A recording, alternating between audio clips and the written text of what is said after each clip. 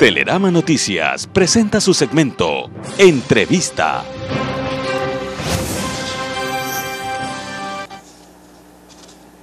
Siete de la mañana, 21 minutos. Ya está con nosotros Daniel Mendoza, asambleísta por el Movimiento Unidad Primero, en alianza con Alianza País. ¿Cómo le va, asambleísta? Buen día.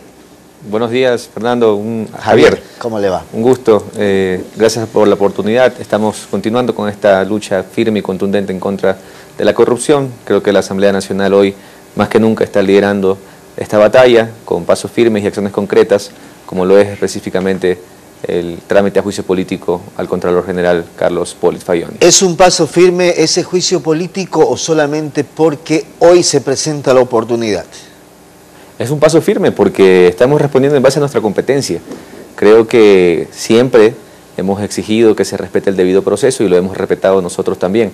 Por lo tanto, yo continúo haciendo un llamado a todas las bancadas de asambleístas de diferentes eh, ideologías, de que se respete ese debido proceso, que se respete que vivimos en un Estado de Derecho y que en base a esa normativa, en base a esa constitución que nos eh, engloba a todos, pues tenemos que actuar. Claro, usted no era parte de la asamblea anterior, obviamente, pero ¿por qué no respondieron de esa competencia en anteriores ocasiones? Mire, yo, no estoy de acuerdo. Yo creo que la asamblea ha ejercido su rol fiscalizador y más que nada el gobierno de la Revolución Ciudadana ha logrado grandes cambios en la institucionalidad del Ecuador. Usted y todos los televidentes recordamos lo que era el Ecuador antes de la Revolución Ciudadana, no tengo que darle mayores ejemplos, pero es indudable y nadie puede negar que el cambio estructural que ha tenido el Ecuador en todo lo que significa el servicio público, el, ir hoy a ser atendido a una entidad y realmente ser atendido, es decir, no tener que dar la vuelta a la manzana, aguantar el sol, tener que pagar un tramitador para poder sacar tan siquiera una cédula de identidad, el tema de las aduanas, recuperar la soberanía, recuperar la dignidad del país. Eso también es luchar contra la corrupción. Yo comparto que la corrupción no es una enfermedad exclusiva del sector público. También el ciudadano, hombre o mujer, que en su diario actuar utilizare palabras como arreglemos, cuánto hay, o para las colas, también está actuando corruptamente y contra eso también debemos legislar. Por lo tanto, hoy esta es una cruzada para todo el Ecuador, que todos nos unamos en esta lucha contra la corrupción, pero evidentemente nosotros como asambleístas estamos actuando en base a nuestra competencia, respetando el debido proceso y ejerciendo nuestro rol fiscalizador con una herramienta tan importante que tenemos que recuperar el significado de lo que es el juicio político. Ah. Recuerde usted, Javier, lo que ahora estamos haciendo no responde a una agenda partidista, tampoco responde a una pesquisa política ni la búsqueda de un trofeo o, de una cabeza. En el pasado ese era el juicio político. El juicio político era la iniciativa de una bancada política que se quería imponer sobre otra bancada para generar un vacío y ese vacío luego llenarlo recomendando a alguien. Y en el caso del ex fiscal general del Estado, eh, Galo Chiriboga, que ayer fue a comparecer en la comisión correspondiente de la Asamblea Nacional, se generó una intensa actividad, aunque hay datos todavía que siguen ahí medios eh, por conocer, mejor dicho. Bueno, yo creo que la comparecencia del ex fiscal el día de ayer fue importante, porque él dio una serie de detalles de las acciones que se tomaron previas a todo lo que ya fue eh, las órdenes de allanamiento que el Ecuador eh, evidenció el pasado 2 de junio. Previas me refiero a que eso lo hizo en el periodo Galo Chiriboga, pero fueron importantes para poder llevar adelante esta, esta investigación. Es decir, no es que... Pero la investigación viene de parte de, Estados Unidos y de Brasil, no del fiscal actual, del fiscal eh, del Ecuador en ese momento pero es que evidentemente si existe una delación, si existe información, ¿cómo se puede actuar sin conocimiento? Es decir, eh, la fiscalía ha actuado en base, obviamente. No, yo creo que, mire, ¿Cómo que no, el, el, fiscal, se ha dado fiscal demostró algo claro. Con una memoria inmediatamente que la están investigando hoy todavía, ¿no? Y por supuesto, pues que hay, Por eso le digo, la información viene de afuera. Pero de donde venga la información, sea de afuera o sea de adentro del país, hay que ser investigada, tiene que ser investigada y tiene que actuarse en el debido proceso. ¿Y se actuó bien hoy, con el fiscal anterior o no? Discúlpeme. ¿Se actuó bien con el fiscal?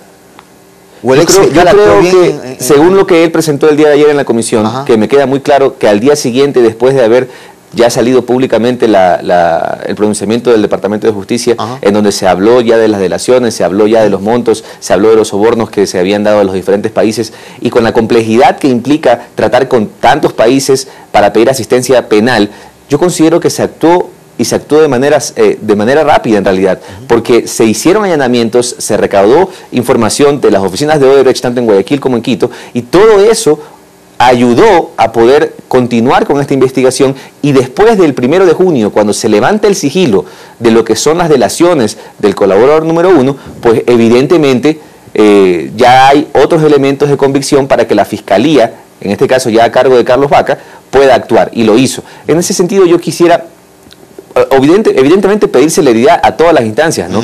No queremos decir con esto de que no, como Asamblea Nacional, no estamos exhortando a todas las diferentes instancias, Fiscalía, la parte judicial, de que actúen de manera rápida. Eso está claro porque el país necesita acciones concretas y nosotros como Asamblea Nacional también recuerda usted que el mismo 2 de junio, cuando se dio toda esta, esta realidad en donde el Ecuador se levantó con los allanamientos, uno de esos allanamientos, la casa del, del Contralor Carlos Polit, la Asamblea Nacional, a través del liderazgo de su presidente, José Serrano Salgado, hizo un pronunciamiento.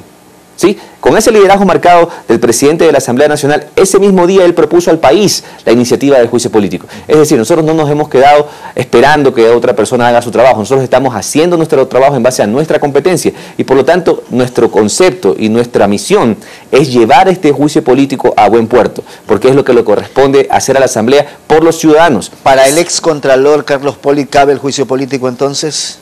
Por supuesto. Primero, primero la ley, primero la ley nos faculta a nosotros a enjuiciar políticamente a cualquier, a cualquier funcionario por después, por después de un año de que cese de, las funciones. Segundo, ¿cuál es el fundamento Segundo, la causal en sí del artículo 131 de la Constitución de la República del Ecuador dice incumplimiento de sus funciones y de la Constitución y la ley.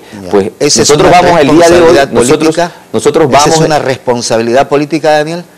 Por supuesto que es una responsabilidad sí, política. Es una responsabilidad pero, política pero la pregunta, sí, sí pero, pero Javier, discúlpeme, ¿usted, usted me invitó para, para, escucharme o para solamente interrumpirme? Yo lo invité para preguntarle okay, Entonces le estoy, para preguntarle. Déjeme terminar la primera pregunta. A ver, pues. dígame. Okay, ¿Hay responsabilidad entonces, política en, en sí, el caso de política? Okay. Sí, pero déjeme, déjeme terminar porque esa no es toda la respuesta. Pregunta la siguiente pregunta que le voy a responder es que hay una gran diferencia entre el artículo 129 y el artículo 131. Yo le invito a usted, Javier, a que respete el debido proceso. Okay, Existe un procedimiento totalmente diferente en el artículo 129 para el tratamiento de un juicio político que, repito, y como okay. lo he dicho en todas las entrevistas que he dado, yo como asambleísta, Daniel Mendoza, soy Ajá. el más respetuoso de la iniciativa legislativa de todos como los asambleístas, independientemente de, este de qué bancadas eh, ellos pertenezcan. En este sentido, si cualquier asambleísta de oposición hoy utiliza una cámara, utiliza un micrófono para poder usar la fiscalización como trampolín, exijámosle que demuestre ellos, yo, yo, no dudo que los asambleístas de oposición puedan conseguir las firmas para iniciar un juicio político, uh -huh. pero ¿por qué no lo han hecho?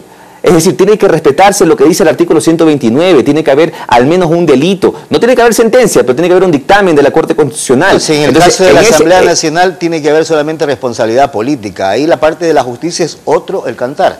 Le vuelvo y le repito, le invito, entonces no lo ha leído, le invito a leer el artículo 129 de, versus de la Constitución, el de, de la Constitución versus el artículo 131. Son dos artículos completamente diferentes. El uno aplica para presidente y vicepresidente ya. y el 131, que es el que estamos aplicando para este juicio político, aplica para todos los demás ministros de Estado, secretarios, superintendentes, etcétera. Contralor. Sea, en ese la... sentido, nosotros Ajá. estamos exigiéndole a todos los asambleístas que respeten el debido proceso y también a quienes tienen una cámara a diario uh -huh. y usan el micrófono uh -huh. para servir de caja de resonancia uh -huh. de las opiniones de asambleístas de oposición y no hacen contrapesos. Yo por eso le invito a Javier, hoy más que nunca, este es un llamado a que trabajemos en equipo, en unidad de criterio, todos medios de comunicación, asambleístas de oposición, asambleístas oficialistas, todo el Ejecutivo, incluso el, el presidente Lenín, Lenín, Moreno está dando claras demostraciones de que la lucha contra la corrupción, primero, no tiene tregua, segundo, no tiene bandera política. No, no tiene bandera política.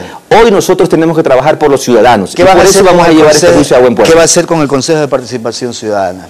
Mi criterio personal Ajá. es que tiene que ser fortalecido todo el proceso de designación Pese a la equivocación de que tuvieron para la designación de autoridades. Repítame la pregunta, por favor. Pese a la equivocación quizás que Yo no considero haber... que han tenido una equivocación. Okay. ¿Sí, no? ¿Por qué le voy a explicar que no han tenido una equivocación? Raquel González compareció ante uh -huh. la Comisión de Fiscalización y Control Político y ella explicó cómo fue todo el proceso de designación. ¿Usted considera una equivocación hablar del Consejo de Participación Ciudadana, que es el mismo consejo que designó al fiscal que hoy está liderando la lucha contra la corrupción en la parte judicial? Es decir, nosotros hoy, nosotros hoy tenemos que decirle al país claramente comparemos y no olvidemos cómo se designaban las autoridades en el pasado cuando en llamadas telefónicas desde Guayaquil se daban los nombres de las autoridades de control. eso es historia, Ese pasado no puede volver. Pero déjeme terminar, por favor, Javier. Solamente le nosotros hoy, el Consejo nosotros de Participación Ciudadana y Control Social. correcto. Hoy tenemos, un, hoy tenemos un Consejo de Participación Ciudadana que designa autoridades con los ciudadanos, empieza con los ciudadanos y termina con los ciudadanos.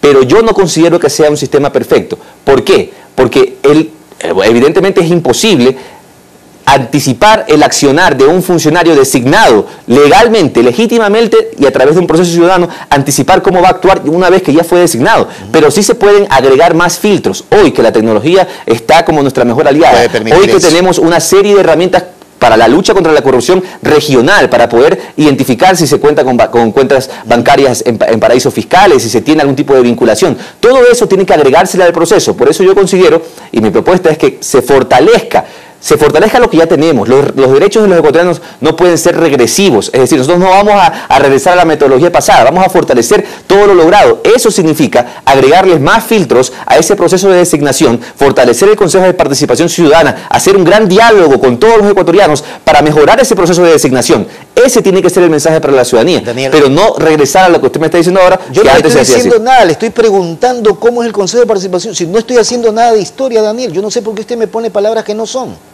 Por favor, sigamos, Javier. Yo creo que, eh, usted, me ha traído primero a interrumpirme. Primero a interrumpirme. Segundo, porque a una respuesta es muy distinto a interrumpir. Pues. No, pero usted me, no me deja terminar. Me pregunta y me repregunta y me repregunta. Permítame entonces terminar la respuesta y después continuamos con la siguiente pregunta. Solamente le estoy diciendo que qué tal le pareció lo de la actuación del Consejo de Participación Ciudadana. y usted hace, hace, hace opinión diciendo de que hubo una equivocación.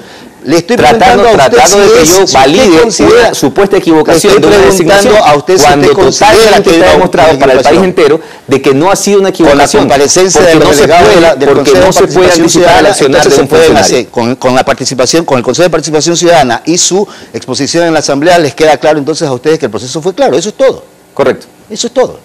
Daniel, gracias. ¿ah? Gracias. Que tenga buen día. Igualmente. Daniel Mendoza, asambleísta de esta alianza, unidad en primero con Alianza País. 7 de la mañana, 32 minutos. Hacemos la pausa, ya regresamos.